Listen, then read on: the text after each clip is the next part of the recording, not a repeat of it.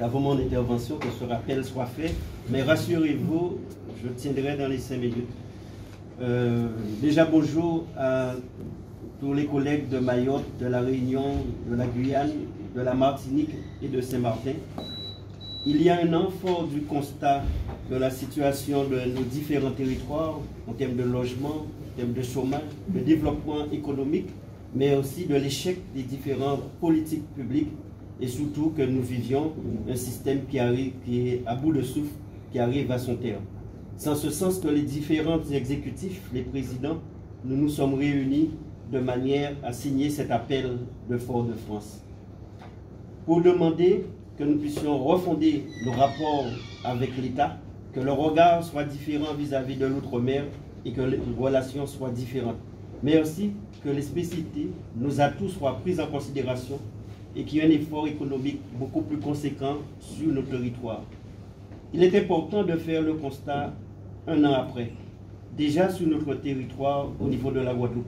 Au-delà de la signature des deux exécutifs, c'est l'ensemble des élus euh, dans une commission ad hoc avec les sept parlementaires, l'association des maires. Nous avons travaillé de concert pour que nous puissions faire les différentes préconisations pour ces différentes politiques publiques.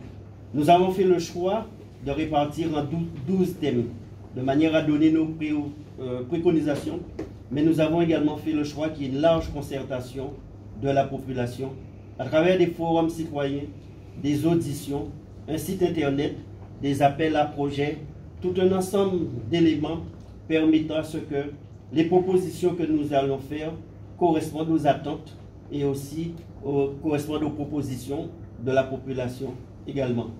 Ceci nous l'avons transmis au niveau du gouvernement pour qu'il soit contenu dans le cadre du SIOM. Mais l'appel de Fort-de-France, au-delà d'être euh, euh, une démarche nous permettant d'avancer sur les politiques publiques, il faut rappeler c'est une démarche aussi politique et concernant les problèmes d'évolution institutionnelle.